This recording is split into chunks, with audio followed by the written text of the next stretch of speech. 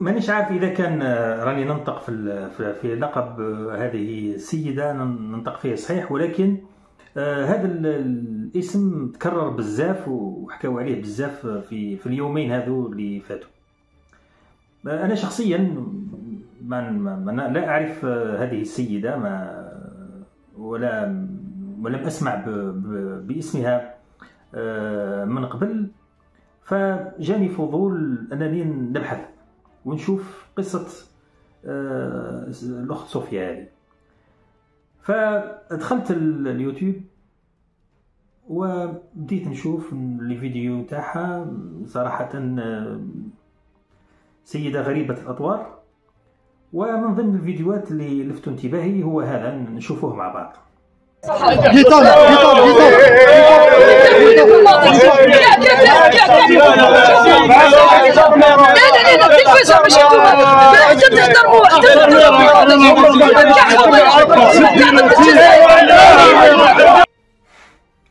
هذه صوفيا. صوفيا هنا مش تشتم في في بلد آخر ولا شعب آخر هذه هي تشتم هنا وتسب في الصحفيين الجزائريين. مانيش عارف أنا وش من صفة تتصرف تصرف. كما هذا وين تصل بها الدرجة إلى أنه تعاير وتسب الصحفيين الجزائريين ولكن الظاهر أنه هذه السيدة عندها طريقة معينة في التعامل مع الناس. الشيء اللي وقع أنه انتشر فيديو لها هي مؤخرا هي تمشي مع مع ليكيب ناسيونال على ما يبدو مناصرة متحمسة جدا للفريق الوطني تمشي معاه في, كل خرجاته على أساس أنها تشجع المنتخب. فنزلت في كوت ديفوار اللي راه يحتضن كأس إفريقيا للأمم. وبعد نزولها أنا شفت الفيديو نتاعها ما نعرضوش أنا طبعا لأننا ما نحب ما نحبوش انتشار الإساءة. ف تكلمت على رحلتها ووصولها إلى كوت ديفوار وللأمانة يعني قالت كاين مسجد كاين كذا وبدات تتكلم في أمور جرحت مشاعر أصدقائنا الإيفواريين. وجرحت مشاعرنا إحنا أيضا كجزائريين إحنا ما نقبلوش ولا قطعا هذا النوع من السلوك من أي كان لما ينزل ضيف على بلد آخر بلد شقيق. وكوت ديفوار بلد شقيق للجزائر فأول شيء نقولوه للإخوة في كوت ديفوار والأصدقاء هناك أنه الكلام اللي قالته صوفيا لا يمثل الشعب الجزائري وأن صوفيا هذه لا تمثل إلا نفسها. فبالعكس الجماهير الجزائرية والشباب الجزائري موجود موجودين هناك وسمعنا منهم إلا كل خير. و راهم في في بلدهم الثاني كوت ديفوار بلد إفريقي عريق ومحبوب. وناس عندهم باع طويل في هذه اللعبة لعبة كرة القدم. فالكلام اللي قالته صوفيا هو حقا يعني لا يجوز ولا يليق ويمثلها هي. فنتمنى أنه الأصدقاء في كوت ديفوار ما يدوش هذا الكلام على أنه راي هذا رأي الجزائريين ولا رأي الجزائر. كل واحد يمثل نفسه. هذه ما تمثل لا جهة شعبية ولا جهة رسمية. هذه تمثل نفسها. يعني راحت بسوء تصرفها وسوء أدبها ودارت هذا عملت هذا الغلطة هذه. فمن الخطأ أننا نقول بلي هذه السيدة تمثل رأي الجزائريين. ولكن خلونا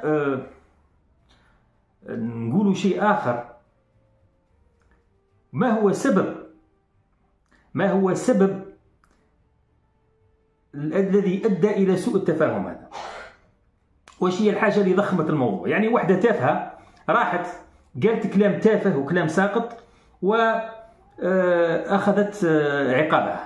يعني تم ترحيلها من كوت ديفوار وأكيد سوف تنال عقابها في هنا بالنسبة لنا هنا في الجزائر والشعب الجزائري كله يستنكر أفعالها. لكن كاين سبب كاين شيء معين نتمنى من الاصدقاء الإيفواريين ونتمنى أكثر من أصدقائي اللي راهم يتبعوني ويتقنون اللغة الفرنسية ويتقنون اللغة الإنجليزية الجزائريين أنهم يوصلوا الرسالة رسائلنا إحنا الجزائريين يوصلوها بأمانة إلى كوت ديفوار.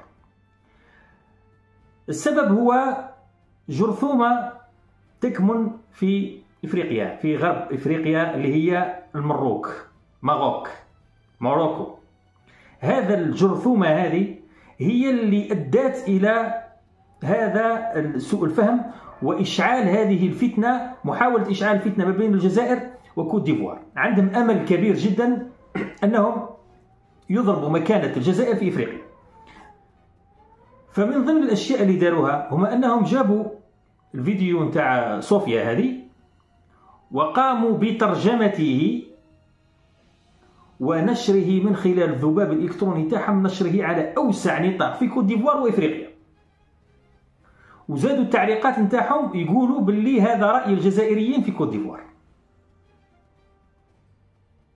وعلى بالي باللي هذا الأمر أدى إلى غضب واسع داخل المجتمع الإيفواري وفي المجتمع الإفريقي. باسكو علاش؟ خاوتنا في إفريقيا ما زالوا ما مش عارفين آه، ما عندهمش ما عندهمش نظرة أو أو أو أو دراية بما يفعله المخزن وما الذي يريد أن يفعله المخزن. يعني المخزن حتى في الاتحاد الإفريقي وشفتوا يعني المحاولات المستميتة لتشويه الاتحاد الإفريقي بكل الأساليب القذرة الموجودة واللي من ضمنها استخدام مواقع التواصل الاجتماعي والذباب الإلكتروني وتقنيات الذكاء الاصطناعي لتشويه إفريقيا ومنظر إفريقيا خاصة بعد آه، ما تم طرد آه، صديقتهم آه، إسرائيل حاولوا يدخلوها إلى الكيان والى الاتحاد الإفريقي فتم طردهم من هذا الاتحاد. المروك اللي ماهوش مقبول حتى في الإكواس يعني مرفوض حتى في المنظمات الاقتصادية الإفريقية رفضته لا, لا, تريدهم لأنه هذا البلد الذي ارتكب الجرائم الفظيعة في حق الأفارقة المهاجرين. خلونا نذكركم بهذه الجريمة لأنه الكثيرين يظهر لي أنهم نساوها شوفوا معايا ما الذي فعله المروك في المهاجرين الأفارقة. تبعوا معي هذه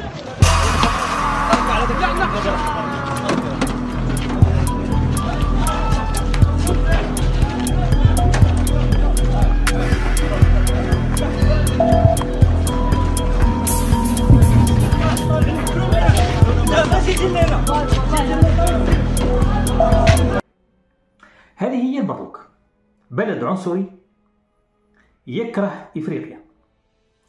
ويرى بأنه عنده حق في كل إفريقيا وعنده حق أنه يحتل كل إفريقيا يعني عندهم يعني تقدروا خاوتنا الايفواريين أنا نقول لكم ترجموا كلامي وبلغوه بشكل صحيح أنهم يعاودوا يراجعوا حقيقة هذا البلد المقيت اللي ما يفوت حتى فرصة للإساءة لإفريقيا وللإفريقيين. إذا قضية صوفيا هي قضية تافهة يعني امرأة قالت كلام تافه وكان يعني بمجرد أنه تكون كاينة شكوى أو شيء من هذا القبيل والسلطات الجزائرية تتدخل. وفعلا تدخلت السلطات الجزائرية وقامت بسحب هذه السيدة التي أساءت إلى صورة الجزائر والجزائريين أولا. ولكن آه، كما قلت اللي راه يصب في الملح على الجرح هما المروك. المروك اللي ما خلاو حتى وسيلة التواصل الاجتماعي إلا ونقلوا فيه الصورة نتاع صوفيا هذه وزادوا آه، زادوا تمادوا أكثر من ذلك ولاو هما يسجلوا هما شخصيا يسجلوا فيديوهات يسبوا فيها الإيفواريين ويقولوا شوفوا هذا الجزائريين ماذا يفعلون. أيضا من ضمن اساليبهم القذره أنهم يدوا يدوا تسجيلاتنا وفيديوهاتنا ويركبوا عليها كلام آخر وقص ولصق وذكاء اصطناعي ويخرجوا آه، أكاذيب ما أنزل الله بها من سلطان. اذا لازم على المؤثرين الجزائريين وعلى الإعلام الجزائري أنه يصحح الرؤية ويصحح الصورة ويشير إلى المجرم الحقيقي اللي هي المروك هي التي تحاول أنها تدخل السياسة في كرة القدم. هذا هو دورهم. يحاولوا أنهم بطريقة أو بأخرى آه، عندهم أمل. شفناهم مش داروا مع مالي وسعيهم الحثيث وإرادتهم نحو تشويه العلاقة ما بين الجزائر ومالي راكم تشوفوا الإعلام تاعهم اللي مازال يتكلم عن الموضوع ويثير في في في القلاقل ويثير في المشاكل على أمل أنه يزيح الجزائر من المشهد ومن صدارة المشهد الإفريقي. والآن راكم تشوفوه مع كوت ديفوار من خلال هذه اللعبة القذرة واللعبة الخسيسة اللي مستحيل يقوم بها إنسان في في واحد عنده أخلاق وعنده وعي. اذا آه هذه رسالتي اليوم آه للإخوة الأفارقة في آه في كوت ديفوار وكل الإخوة الأفارقة الجزائر آه، من ضمن أولوياتها هي الاتصال والاتحاد مع كل آه، إفريقيا آه، لمجابهة تحديات العالم. والحمد لله سمعه الجزائر في الاتحاد الإفريقي وعلاقاتها مع كوت ديفوار علاقات متميزة علاقاتها مع مع النيجر مع نيجيريا مع جنوب إفريقيا مع تشاد مع مع الموزمبيق مع أي بلد إفريقي. دائما الجزائر تشارك بشكل فعال نحو الارتقاء بالقارة السمراء.